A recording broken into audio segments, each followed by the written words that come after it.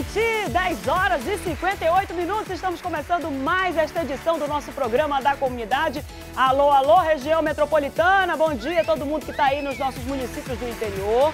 Todo mundo que está em Presidente Figueiredo, Manacapuru, Iranduba, Rio Preto da Eva, Careiro, Careiro Castanho. Todo mundo que está acompanhando, que recebe o sinal da TV em tempo e a partir de agora vai acompanhar o nosso programa da comunidade. Bom dia, capital! Bom dia, Zona Oeste, Zona Norte, Zona Leste, Zona Sul.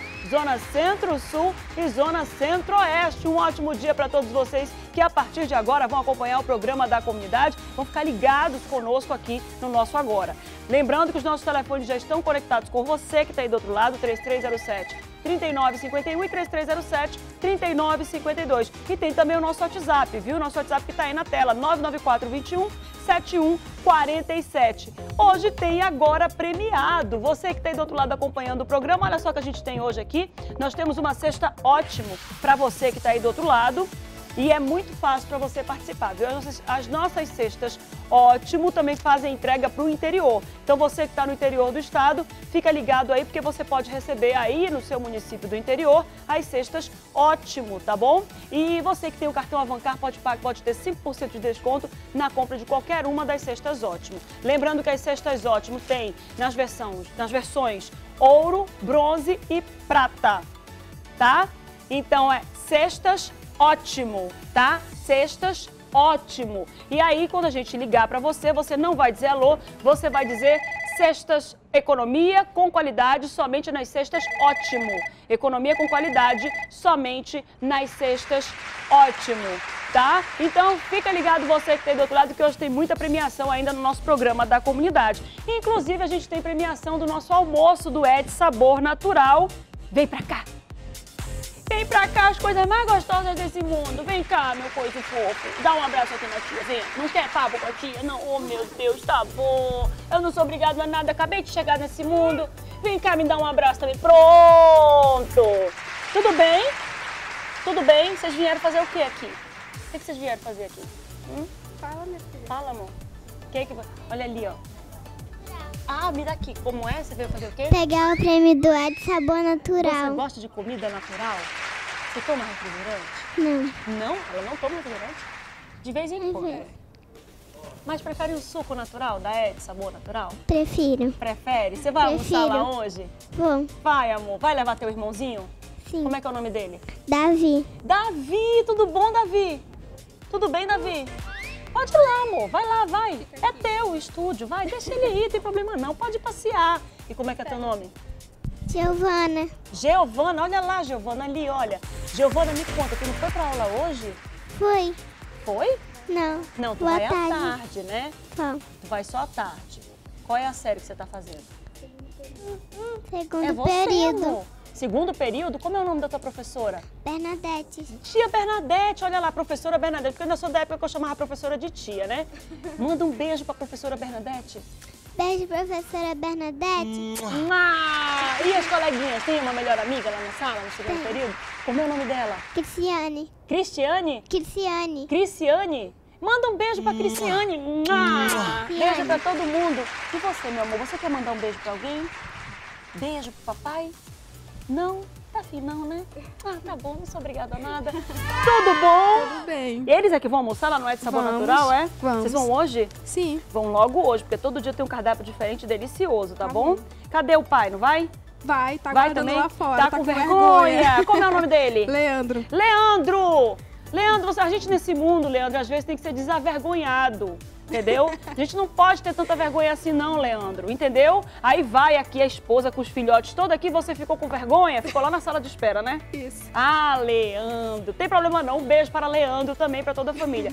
Tu quer mandar beijo para alguém, Lorena? Ah, eu quero mandar pra minha família de São Raimundo, é, pro meu esposo, né? Envergonhado. É, envergonhado. Deixa eu ver. Acho que só. Vizinho, não? Não Quer mandar beijo pros vizinhos? Não, Não, não, não. Então tá bom, ninguém merece beijo. Tá falando aí dos outros, né? Ei, brincadeira, hein? Obrigada, viu? Olha, dá uma olhada aqui, ó. Você que tá aí do outro lado, ó, tem dois almoços aí. Eu acho que criança não cobra, não, que a Ed é toda assim, tá? Pode levar as meninas à vontade, não tem problema não, tá, bom? Obrigada, viu, Lorena? Um grande beijo pra você, Giovana, Davi. Um beijo. Me dá um abraço. Oba! Davi, tu assiste. A gente vai fazer uma foto no intervalo. Vem cá, Davi, me dá outro abraço. Vem, meu amorzinho, vem. Oh, meu Deus, eu tô muito desconfiado. O que, que eu tô fazendo? Tô me vendo ali na TV. Tô muito desconfiado. Já, já abracei ela também, tá bom? Obrigada, viu? Um beijo e me espera aí que a gente já já bate foto, tá bom? Você que tá aí do outro lado acompanhando o programa da comunidade, 11 horas e 3 minutinhos. Vamos trazer os destaques do nosso programa de hoje. Fica ligado que a gente vai trazer, olha só, acidente de trânsito, viu, minha gente? Caçamba invade uma residência no Nova Vitória, zona leste de Manaus, e uma mulher acabou ficando presa às ferragens. Olha só que gravidade esse acidente aqui, viu? A gente também vai trazer para você. Polícia Civil encontra o carro BMW que atropelou um agente do Manaus Trans na última sexta-feira. O agente segue em coma no hospital 28 de agosto. A polícia encontrou, identificou o veículo e também identificou o proprietário e quem estava conduzindo o carro porque o dono é um e quem estava conduzindo parece que era um menor de 17 anos. A gente também vai trazer para você que tem do outro lado um incêndio. O incêndio destrói parte de um prédio de três andares na Compensa, zona oeste da capital, perto de uma escola. A escola teve que suspender, inclusive, as aulas por causa dessa situação da, dessa situação aí, desse incêndio. A gente também vai trazer para você, homem de 48 anos é assassinado lá no Japim, na rua C15. E a suspeita da polícia é que ele seja envolvido com roubos de veículos cinco tiros. Foi uma execução. Vamos trazer notícias de Parintins também. Polícia desarticula boca de fumo e prende dois homens suspeitos de tráfico de drogas lá na ilha Tupinabarana, lá em Parintins. E a denúncia da comunidade hoje vem do Rio Piorini. Mais uma vez a denúncia vem do Rio Piorini. Eu já fiz várias reportagens também no Rio Piorini com relação a essa infraestrutura que parece nunca acabar. Parece que nunca, nunca se resolve o problema dessa infraestrutura aí e hoje a gente traz mais uma vez a denúncia da comunidade. 11 horas e 5 minutos, hoje também tem o nosso quadro Agora Tô Chique com o Jean Carlos que foi até a casa de uma telespectadora, olhou o guarda-roupa da telespectadora, deu uma olhada, uma vasculhada em tudo lá para poder indicar para a telespectadora o que é que fica melhor com o que ela tem. Porque é isso que é importante. Não adianta vir de lá dizendo tem que trocar tudo, não adapta o que a gente tem ao nosso gosto e à moda. É isso que tem que ficar. E a gente vai trazer também a Liliane Martins, que é a proprietária da loja Dona Flor. Inclusive, meu vestido de hoje é lá da Dona Flor, que eu adorei, todo mundo gostou, eu também fiquei apaixonada. Dá uma olhada aí. O, o Carlinhos muito diligentemente disse para mim assim: Márcia, tem um, tem um machucado no teu pé né? Não tá mostrando o meu pé, porque tem um machucadinho no meu pé que eu dei um chute no sapato do Ivan Nascimento hoje cedo e aí acabou, acabei machucando o pé. Mas tá aqui, gente. Tira a tarja pra eu poder ver o vestido todo. Tira aí essa tarja. Olha aí o outro pé, ó. Tá com machucadinho aqui, tá? Foi um chute que eu dei no sapato do, do Ivan Nascimento. Tá aí, ó. Lá da... Não, tu não sentiu porque tu tava com o sapato. Eu senti porque foi eu que dei o chute. Olha, tá aí, ó, da Dona Flor. Tudo isso e muito mais você acompanha a partir de agora no nosso programa da comunidade, que já tá no ar.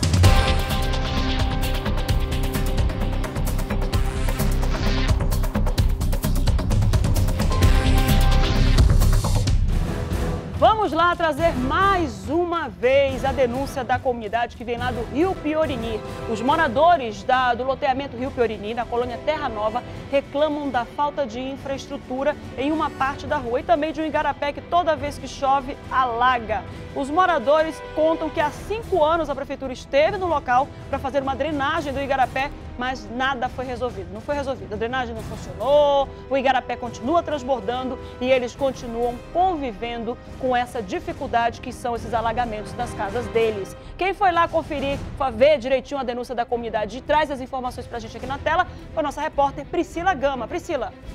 É isso mesmo, Márcia. Bom dia para você, bom dia a todos que acompanham o programa da comunidade. Olha, hoje a nossa equipe de jornalismo veio aqui na comunidade do Rio Piorini. Eu estou na Rua Amazonas, porque aqui os moradores reclamam de vários problemas, né? O primeiro, como vocês podem ver, é a falta de asfalto. Aqui na Rua Amazonas não existe isso.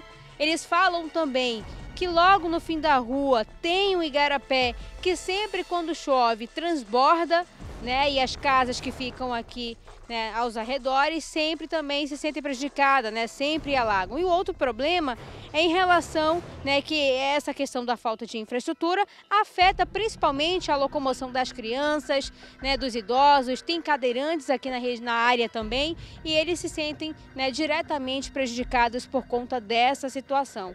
Eu vou conversar com a dona Eliane Santos, né? Ela mora aqui há mais de 10 anos. A dona Eliane, Márcia, estava me falando agora há pouco, né? Que esses problemas de lá para cá só pioram e até agora nenhuma resposta, né, dona Eliane? É isso mesmo. A gente está pedindo, reivindicando que o pessoal venha drenar o garapé, porque final de ano é o tempo que começa as chuvas, vai alagar tudo. E isso a gente não quer, porque a gente tem filho que estuda, tem gente que atravessa a ponte ali no Igarapé. Então o que a gente está pedindo é que eles venham drenar o Garapé, porque são coisas fáceis de fazer e não é tão caro, eu acho que não é tão caro, então dá para fazer. É, é só o que eu tenho para pedir, porque tem essa ladeira que não tem asfalto também. também aqui, né, dona Eliane, que não tem saneamento básico aqui, né? Não tem. O carro do lixo não desce.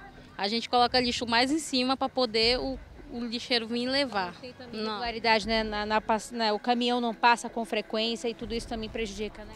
Prejudica. Mas conta de luz e água todo mês chega. Então a gente queria pedir que as, a, as autoridades competentes olhassem por nós. Então, olha, Márcia, tem muita criança aqui, né? Engraçado que quando a equipe de reportagem vem, a comunidade se reúne logo. Eu vou conversar com essa mãe aqui. Como é seu nome?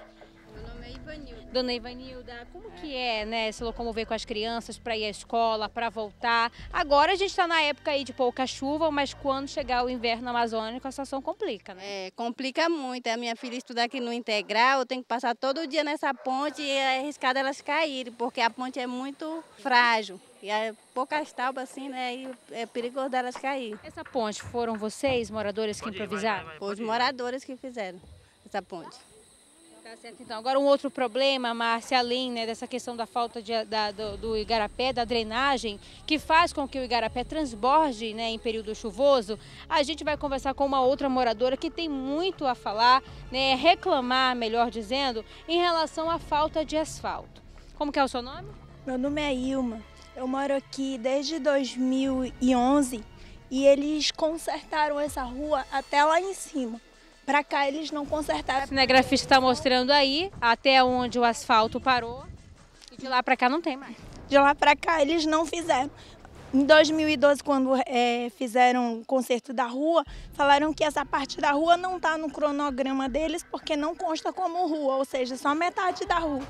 E para cá, essa parte mais de baixo, eles não fizeram. Agora arrumaram lá em cima e aqui embaixo não arrumaram. Eu tenho a minha mãe, ela é acamada, tem dificuldade de locomoção. E aí, quando é para vir a ambulância, a ambulância tem dificuldade de chegar até aqui embaixo. Difícil levar lá para cima. No período que chove, então fica pior ainda. Uma pessoa se passar mal aqui, como é que a pessoa vai subir essa ladeira aí, que escorrega cheio de barro? Não tem condição. Você já precisou dos serviços do SAMU, da ambulância? Eles não conseguiram descer? Recentemente a gente precisa. Às vezes o SAMU nem veio, eu tenho que chamar táxi e carregar essa ladeira todinha, ela até lá em cima, porque não tem condição do táxi descer.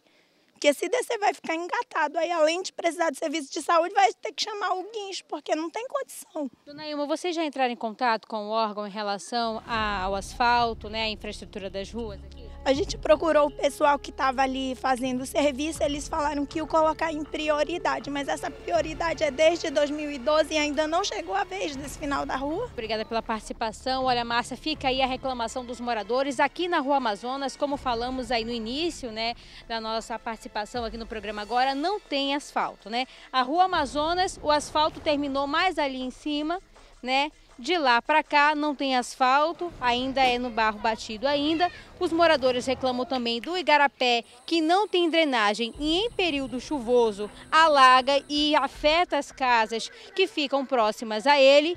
E também em relação a uma ponte, né? Eles, ainda que seja provisória, eles pedem também uma ponte para que as crianças, os idosos, os moradores consigam atravessar, ter acesso ao outro lado, ir e vir sem nenhum tipo de dificuldade. Né? A gente espera que os órgãos competentes interessados em solucionar esses problemas deem uma resposta e não só a resposta, mas que eles compareçam aqui também na comunidade do Rio Piorini e comecem aí a executar essas ações para resolver esses problemas. Eu volto com você no estúdio, Márcia. Ah, Priscila, obrigada. Priscila, Priscila Gama. Quem dera se o problema fosse só a falta de asfalto. Não tem asfalto, não tem calçada, não tem bueiro, não tem nada só tem a lamentação dos moradores ali da rua da, do Rio Fiorini e dessa rua especificamente onde Priscila Gama foi lá ouvir a denúncia e ouvir as reclamações dos moradores. É impressionante como a gente sempre traz aqui, conversa com você que tem do outro lado, como a falta de infraestrutura acaba desencadeando uma série de outros problemas. Por isso que eu sempre quando falo de infraestrutura, de, de infraestrutura, atribuo a infraestrutura à dignidade da pessoa humana, que é previsão constitucional e exigência legal no Estado democrático democrático de direito. Um Estado onde as pessoas convivem subordinados a poderes, que são os nossos poderes executivo, judiciário e poder legislativo, e pagantes de impostos. É importante que se diga isso aqui. Nós pagamos impostos e não interessa quanto eu pago de imposto, quanto a dona Maria paga de imposto, quanto a Priscila paga de imposto. O que interessa é que nós consigamos viver num estado com infraestrutura, numa cidade com infraestrutura. Nós mantivemos contato com a CEMIF, com a Secretaria Municipal de Infraestrutura, e a CEMIF nos disse que já está fazendo reparos em outras ruas paralelas a essa rua onde a Priscila Gama hoje trouxe a denúncia. E que essa rua em especial já está na programação para reparos. A gente espera que sim. E a gente espera que o mais rápido possível. Sabe por quê? Porque eu mesma, quando cheguei aqui na TV em Tempo em 2012, fiz várias reportagens na, lá na comunidade Rio Piorini. Várias. Sobre infraestrutura. E quando a gente fala de ausência de infraestrutura, a gente fala também da ausência de atendimento médico, porque como você viu a moradora dizendo, o carro do SAMU não chega, a viatura do SAMU não chega aí, a ambulância. O carro de polícia também não chega. Qual vai ser a viatura da polícia que vai se arriscar a descer essa ladeira aí com, uma supo, com um, suposto, um suposto cometimento de crime e vai arriscar engatar a, a, a viatura nesse mondrongo de barro que tem aí no meio?